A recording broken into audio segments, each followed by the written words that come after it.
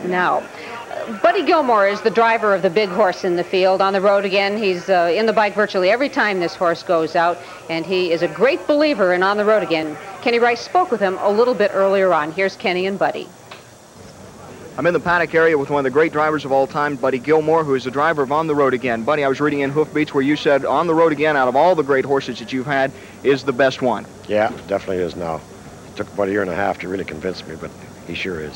When you first drove him in 1984 out in California, did you have an idea that this was a great horse, not just a very good horse? Well, uh, right off we wasn't so sure because we hadn't hooked into the three-year-old colts from the east. But uh, when we got to Chicago and after we got done racing there, even though I got beat, finished second one race out there, we knew then that he was one of the top ones. We wasn't sure, you know, because it takes a lot more when you're racing them all the time, you know, just to keep them racing everything to find out really sometimes how good they are.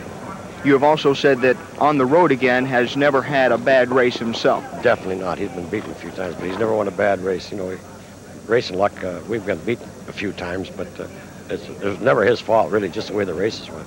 Went home last year in the Breeders' Crown Series in Edmonton, lost sad. Is this a little more special now tonight? yeah, that's for sure. Kind of after that one there, well.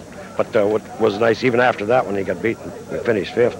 But uh, he went come back east and right after that. And I said he was as good as he ever was all year, and he broke two track records the next two weeks, so we proved it. Is this the horse of the year?